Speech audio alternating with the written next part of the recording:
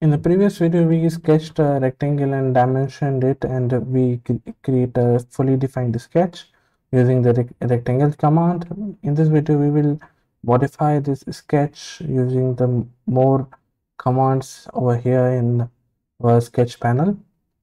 So to edit a sketch, we'll select another command known as fillet, sketch fillet. So to fillet things, we need to uh, select two points or an edge.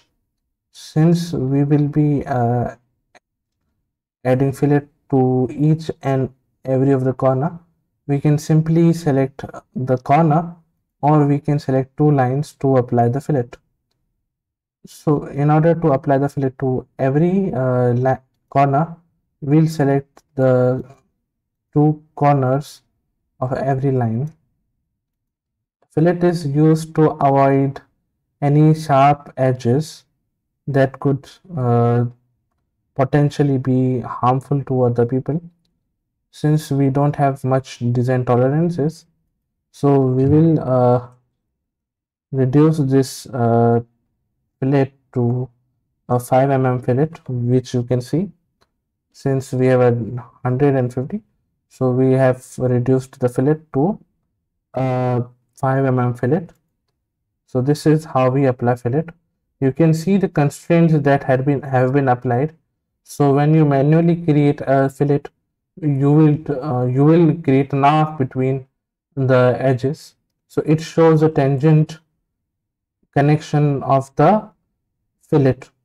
If you, uh, you have ever used at Autodesk Auto, AutoCAD so to fillet things we have to usually uh, make two tangent make a circle between two tangent points to create a fillet also in manual drawing. So this is how it works.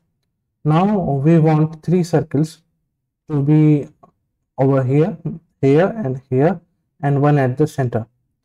So to create circles we will go to the circle tab create a circle and I will select some position over here to create a circle. And now over here to create a circle. And like this I have created four circles. Now to apply a constraint press ctrl select all the entities with which we have to create uh, constraint you can also press shift and select which is much easier than selecting vi control. Now uh, since we have selected these things there will be some uh, relations which can be defined. But since there are none I'll just select all of the circles and see we can see that we can make them equal. There is also concentric which makes them uh, all centered around a point. So here i am going to select equal which makes them of equal size. Then okay. Now from the smart dimension the distance from the center to this point i'll say it is 20 mm and from upwards from the center to the top it is around 10 mm